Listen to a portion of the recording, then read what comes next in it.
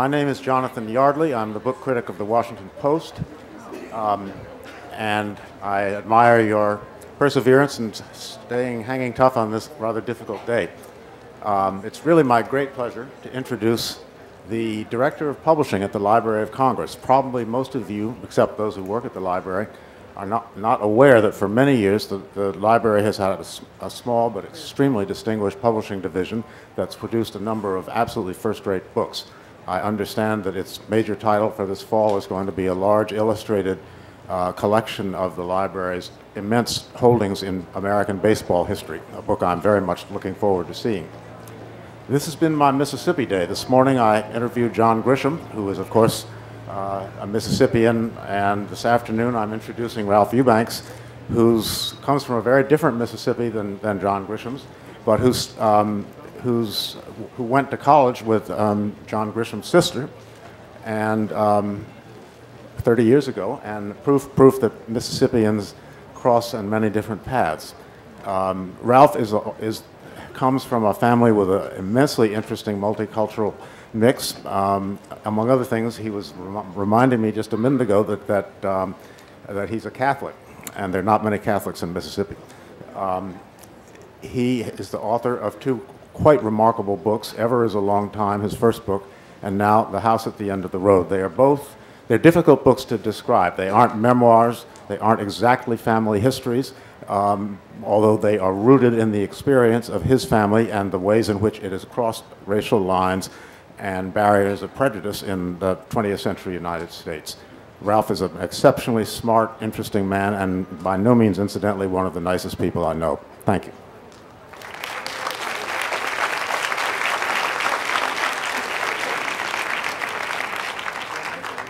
Thank you, John, very much for that, that wonderful introduction. And I was, I was telling John uh, as we were listening to Patricia Smith, I said, I'm a Catholic, but she made me shout amen at one point. I actually said it out loud, and I, I didn't know what came over me all of a sudden, but, they, but, but it was very, very moving.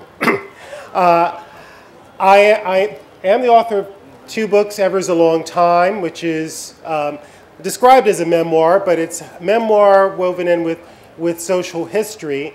Uh, and The House at the End of the Road, which is the story of my grandparents who were an interracial couple who married in Alabama around 1914 uh, and were married until my grandmother died in 1936. Um, as I've been talking about um, The House at the End of the Road, I've often brought a picture of my grandfather with me uh, which I've had on an easel. It was going to be a rainy day, and I work at the Library of Congress, and I knew that some of our preservation staff would be here and see me with this photograph out um, in the rain. But the photograph is actually in the book here, and that is my grandfather. And that picture hung in my, uh, it hangs in my house, but when I was growing up, it really couldn't hang in my house, which is kind of the story of my first book, which is about the Mississippi State Sovereignty Commission.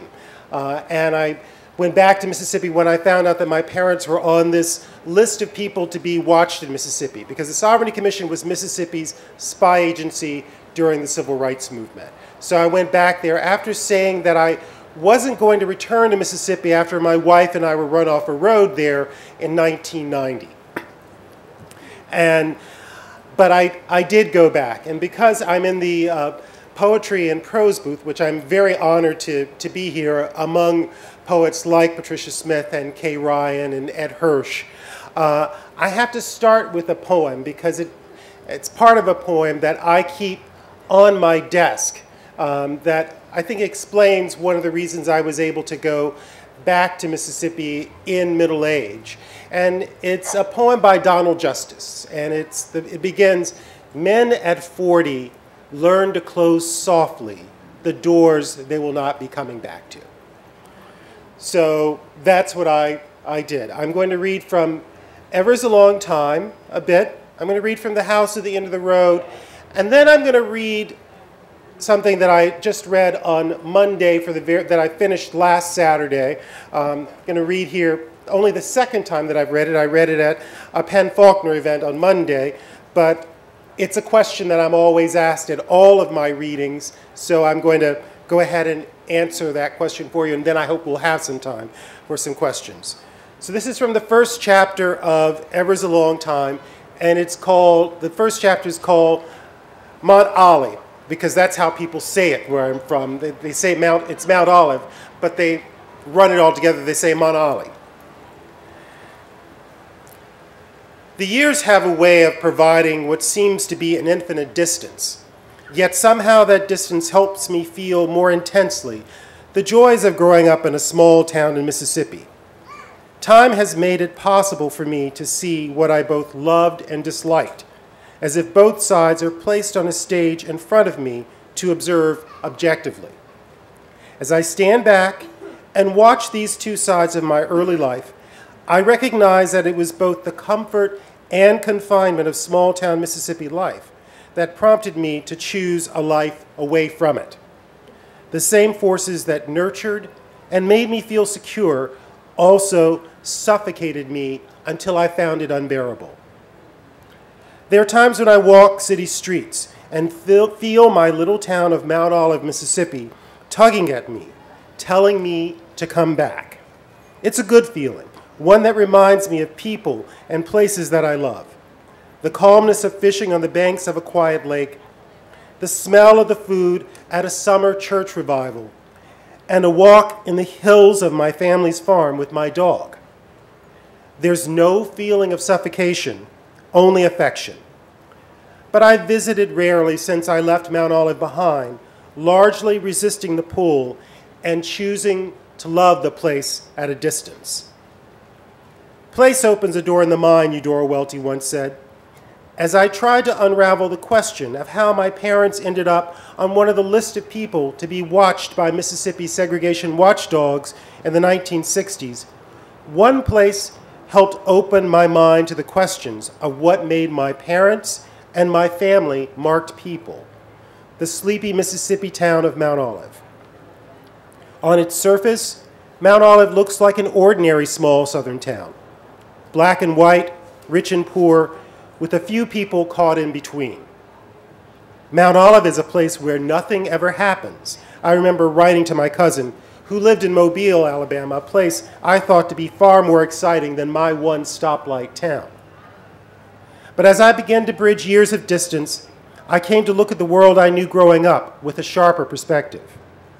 Much more than I thought happened in that place where nothing ever happens tensions, and excitement merely disguised themselves in a veneer of quietude, beginning with my own family. Outwardly, we were an ordinary family a mother, a father, four children. Of the four children, there were three girls, and me, the only boy, which felt like an unfair circumstance rather than an ordinary one to be born into. Like most of Mississippi in the 1960s, we lived on a farm, which made up of 80 acres of rolling green pastures and dark, rich fields planted in vegetables and fruit trees, all common in our part of Mississippi, except that we were black. My parents were college educated professionals, and the middle class aspirations my parents held could be viewed as both desirable and threatening. Like a number of black families in Mississippi, we farmed and grew cattle. However, we farmed not as our only means of making a living, but largely because my father was the county agent, or a Negro county agent, as he was labeled back then. My mother held one of the few professional jobs a black woman could have. She was a teacher at a segregated school. Farming our own vegetables and raising our own beef helped my family make ends meet on the meager salaries dictated by Mississippi's system of segregation. Mississippi's social and political system was set up to keep black people poor and uneducated. Even if you had an education, professional options were few, and my parents held jobs that were part of that limited realm. When I was growing up, it all seemed painfully normal, nothing exceptional. But looking back, I realize how extraordinary it was. We lived a dignified life in an undignified system of racial segregation largely ignoring the confines of that system.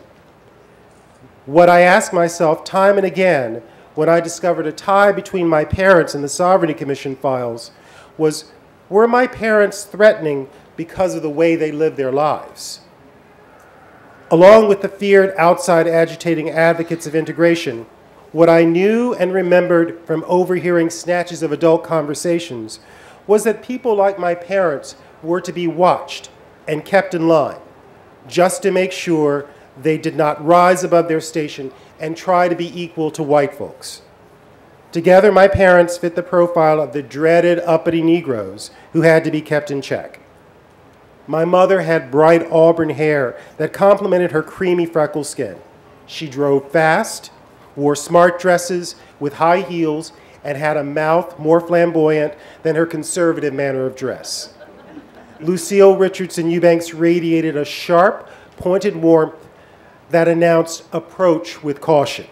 She held nothing back and maintained an undisguised disdain for Mississippi's system of segregation.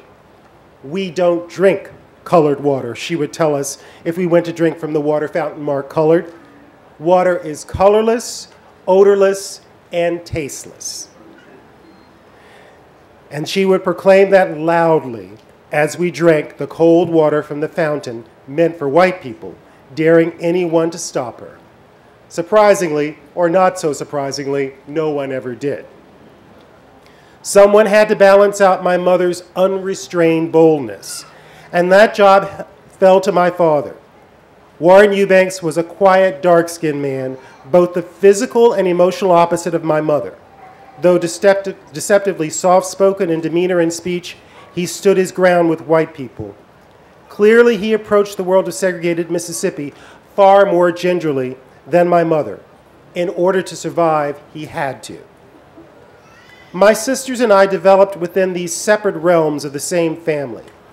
The unrestrained openness of my mother and the measured yet determined approach of my father. Knowing that I would have to navigate the world as a black man, my father kept me rooted in his realm, taking me with him wherever he went, even to work. My sisters modeled themselves more on my mother's brash personality and style, a characteristic that distinguishes us to this day. The tensions of those two, two worlds came to be balanced thanks to our farm. It threaded our lives together, for the land was both our passion and our pride and joy. Life there revolved not so much around our different personalities and mindsets, but more around the rhythm of the seasons and the work dictated by those seasons planting, harvesting, pruning peach trees, moving cattle from pasture to pasture, stacking hay bales. Perhaps it was the rhythm of those 17 years we lived on the farm that masked the extraordinariness I now see in my family, for there was a sameness in what we had to do from season to season and year to year. And the comfort of that routine, each of us developed our own unique set of inner resources to bring excitement to what was an isolated, staid, and ordinary existence. I constructed an inner life for myself that shut out the daily chores on the farm. I wrote letters to children in faraway countries, read books about those places, and imagined myself there even as I played games with my sisters. That same inner life also sequestered me from the topsy turvy world of race and racism that controlled the Mississippi of my childhood. Shielded by the distance of years, I decided to go back to Mount Olive to take a closer look at a world I sometimes navigated with my eyes only half open. On a crisp fall day in 1999, I drove into Mount Olive, Mississippi, down Main Strip Street for the first time in almost 10 years. And I have to say, I didn't like what I found when I got there. Uh, my town is largely gone now. There are only two stores that are even open on Saturday. It's now 2.30, 1.30 there. Uh, the one store that is open on Saturday is now closed. When I was a boy, it was just completely populated with people. Everybody's migrated to the Walmart down the road in Magee, Mississippi. And it's very sad um, to be there and to, to see that kind of wither away. But that place spoke to me uh, and really made me figure out how my parents ended up on this watch list. Eventually, it set me on a path to three people um, an ex Klansman, uh, a member of the Sovereignty Commission, and Ed King, who actually worked, marched with uh, Medgar Evers in Jackson to, to see how this was all tangled up with them. So I found how my life in this place where I was living this inner life to keep out what was going on in Mississippi, really opening my eyes to what was going on the, there for the first time. Now, as I mentioned, that there's this photograph of my grandfather, a white man, that never hung in my house when I was growing up. It didn't hang there for a couple of reasons. Uh, one was that my father didn't want it in the house. The second was that uh, at that time in Mississippi, that I learned when I, which I learned going through the Sovereignty Mission files, was if you claimed kinship with a white person, um, you could put yourself in some physical danger because that you didn't claim these blood ties with white people. That was just, um, it was just completely taboo. So I want to read, read now a little bit from The House at the End of the Road from the prologue to the book, which kind of tells you how I got started on that. I wrote about my grandparents in one paragraph in Ever's a Long Time, talking about the places that my parents came from. And my editor said, I want to know more about these people. And I said, Well, that's all I know. Um, so this book was my attempt to find out even more about them and actually get to, to know them as best I could. So I'm going to read a bit now from The House at the End of the Road. The hardest thing I ever did was to ask a white man to marry his daughter. I heard my father say late one night to my mother when they thought I was asleep. Then there was a pause as my father took a drag on his ever present Salem cigarette. And I'm, and I'm not sorry that I had to do the asking. It's all been worth it. The two of them laughed tenderly, which I felt in their voices, since I could not see the expression on their faces. It was 1973, and I was an innocent 16 year old boy, blanketed by naivete, lying awake in a room filled with boyhood toys and model airplanes. Though I tried to listen in as my parents talked into the night about how they forged ahead with their marriage in spite of different backgrounds, I remember almost nothing of their whiskey and nicotine fueled discussion. Rather, I remember how puzzlement filled the air of my room like the smoke from my parents' cigarettes and crept into my brain as I attempted to process that my mother's much loved father was a white man. My grandfather died six months before I was born, so I knew him only through the stories my mother told. I just assumed since my mother was black, so was my grandfather. His race was never discussed, and in Mississippi in the 1960s, it would not have been discussed without severe social consequences for my parents. Now I understood why my grandfather's portrait sat in my parents' closet, emitting a dusky evanescence from behind the closed door. Yet that evening, overcome with adolescent narcissism, I thought only about how what I had just heard affected me. The impact of my mother living in a mixed race household in the Jim Crow South of the 1930s stood invisibly in a dark corner of the room. With a consciousness rooted in black pride in the civil rights movement, I quickly concluded that my grandfather's race had nothing to do with my racial identity. Soon I was fast asleep, leaving my parents' conversation to drift into the night air. Almost 30 years later, memories of that evening began to come back. My mother and I were together with my daughter Delaney in her school for a classroom presentation about holiday memories. After the children told their stories about family Thanksgivings, Delaney innocently asked my mother to tell her about the most memorable Thanksgiving from her childhood. Holding tightly to her emotions, my mother struggled to tell Delaney about a special Thanksgiving when her mother's friend, Miss Callie, came and made a big dinner just for the children and played games with them. It was painfully clear to me that that was all she could say without losing her composure in front of a kindergartner. When we left the classroom, we stopped on the front steps of the school on the way to the car. What happened that Thanksgiving, Mom? I asked quietly, sensing that she was still upset. Then standing ramrod straight and glancing directly into my eyes, my mother began to tell a story I had never heard. This time I did not let my thoughts drift away as I did all those years ago. Instead, I listened intently as the memories etched lines of pain on her face. When my mother died, for a brief time, I felt like I became invisible, she told me. And the Thanksgiving I was trying to talk about was when my mother died. My mother, Lucille Richardson, was only seven years old at the time, old enough to know what had happened to her mother, but young enough to slither through the rooms of her house unnoticed by her father, who was devastated by his loss. My mother recalled that all the mirrors in the house were covered with thin white sheets, perhaps to keep her mother's spirit at rest. That made it easy to sneak around. As she surreptitiously watched her mother being placed in a casket wearing a powder blue dress with a white lace collar, a dress her mother had sewn with her own hands. Lucille wondered what would happen to her now that her mother was dead.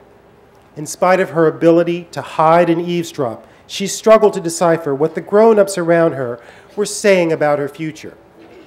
Then, just days after her mother's burial, she found herself sitting on the back seat of a 1936 Ford with her nine year old sister, staring through the car's rear window as her white clapboard farmhouse at the end of the road got smaller and smaller in the distance, finally fading into one of the clouds of dust that billowed behind the car. Sent to live with relatives in Mobile, separated from the home she loved, her older siblings, and her father, Lucille did not know when she would return. Before she could come back to her house at the end of the road, her father had to figure out what to do with his family. Would they stay in Alabama, or would they move north to pass for white? It was something that was whispered about among the family, something Lucille overheard, and finally connected with an incident from a few years before her mother died. That day, her father, Jim, was injured in a logging accident a few miles from their house. After the accident, a group of men, all of them white, brought him to the house. Confused by all the commotion and her father's cry of pain, Lucille turned to her mother's friend, Miss Callie, who had helped form her most vivid Thanksgiving memory, and asked, What's wrong with Jim? To everyone, including his children, her father was known by his first name, without any pretense of formality. Good God Almighty, little girl, I didn't ask them what was wrong with that white man, Miss Callie replied. Confused, Lucille turned to Miss Callie and asked, Is my daddy a white man? Miss Callie then shouted with disbelief to Lucille's mother, Edna, why didn't you tell that little girl that her daddy was a white man? Because it's her daddy and it doesn't matter, Miss Callie, my grandmother replied. But now, just three years later, whether you were black or white did matter for some reason. The family's future seemed to hang in the balance between the black and white worlds they straddled. The town doctor who pronounced her mother dead offered to help the family start over, far away from rural Alabama, as a white family. Even some of her lighter skinned black relatives talked about how the Richardson family could slip into the white world unnoticed. Although Edna was black, all the children's birth certificates said they were white. So it would have been easy. In the end, Jim Richardson chose not to hide his children's mixed race behind a lie. The family was reunited, and Jim chose to make his children acknowledge who they were rather than to see themselves the way the rest of the world chose to see them. To this day, no one in the Richardson family has regretted making what seemed at the time the harder of the two choices. This is the story of why they made that choice and how it has reverberated through the family for three generations.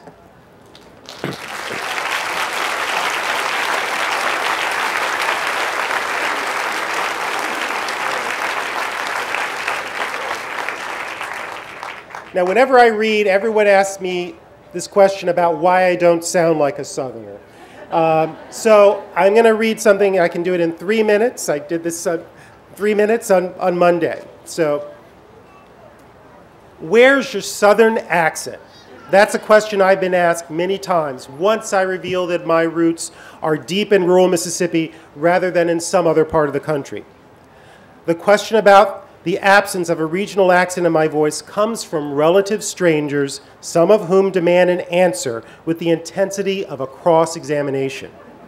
In spite of how I'm asked, the answer is simple. Along the way, I made a choice to lose my accent.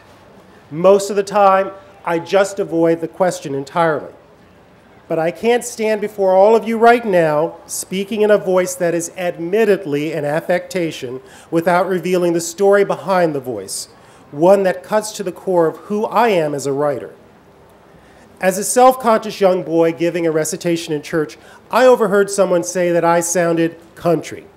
Today, I know the observation was true, but hearing those words hurt.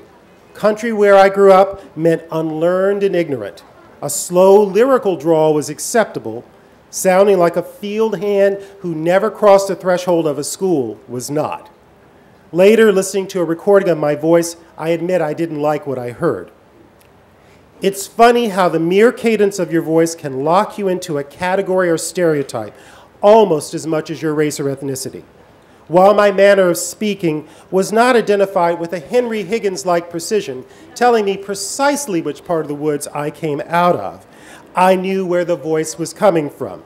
Jimmy Tugwell's Country Capers show from WSJC in Magee, Mississippi, number 81 on your AM dial. I loved listening to Jimmy Tugwell every morning, the sound of his twangy voice wafting into my bedroom alongside the smell of coffee, eggs, and bacon. Unconsciously, I absorbed Jimmy's speech into my voice. After that day in church, I became an incorrigible eavesdropper. I began to listen, not only to what people said, but to every inflection of their voices, particularly people from outside the South. Whether it was the pretty new girl in my class from Massachusetts or a complete stranger visiting from New York, I listened to every word with a feverish intensity. Clear Channel radio became a late night friend. The fast, sometimes clipped tones I heard from distant northern cities became a counterbalance to Jimmy Tugwell and crept into my speech in time. Then I learned to call a writing implement a pen and a stiff piece of wire a pin, distinguishing between specific vowel sounds unlike most Southerners. I stopped elongating words and dropping G's. My mission was accomplished. I didn't sound country anymore. And when asked where I was from, I love telling people I was from Mount Olive, Mississippi, population 800, and watching their sense of disbelief. But when you lose a piece of your identity, a strange sense of longing sneaks up on you in middle age. As I might have said as a boy, that feeling just whops you upside your head and knocks you flat. Perhaps that's why, as a man, well over the age of 40, I found myself back on the side of the farm where I grew up, trying to piece together my life there. My old southern voice was gone, perhaps lost forever, and I began to cry because somehow I had to find it, and writing helped me do just that. Looking for my old southern self, a country boy who grew up on a hot two lane blacktop and spoke with elongated vowel sounds awakened the writer inside me. I may have erased Mississippi from my voice, but the place and how it shaped the way I look at the world helped make me a writer. At this moment, you may not hear my real accent, the way I sometimes speak when I'm completely relaxed and among friends. Instead, my accent lies deep in my soul and reveals itself on the page. That is the place where I feel safe expressing the part of who I am that few people hear when I speak. Thank you all very much.